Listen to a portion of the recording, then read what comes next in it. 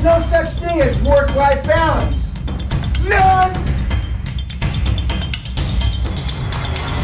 Learn to be super successful. Subscribe to my channel, Meathead.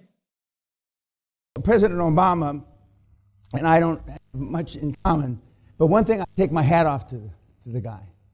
When he was a 19 year old, well, depending on what story you want to believe, cokehead, whatever he was, and he said, I'm going to be the first black president in the United States. That's a big motherfucking goal.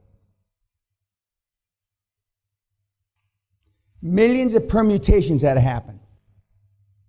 Maybe billions, I don't know. And by God, look at that. So why not you? Now, some of you always say, well, he said that when I was 19, and I'm already 39, 49, 26, whatever. Oh, it's too late for me. And that's how you think. And even though on a level you don't think that way, on a subconscious level you think that way. And why do you think that way? Because of mom and dad. Now, little Trump Jr. doesn't think that way, does he?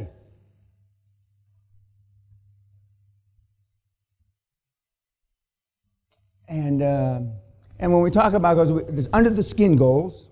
Those are goals that are just for you, personal. Okay?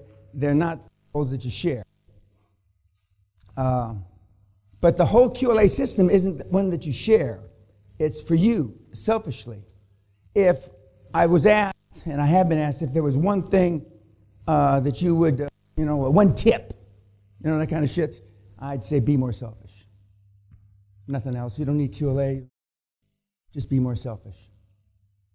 And what are you taught, most of us, myself included, when you're a little kid? Johnny, you know, uh, you're four, five, six, seven years old, and you got toys. And uh, Johnny, many toys? Share, share toys. With, you remember all that shit? Fuck and the whore he came out of. Is to be more selfish.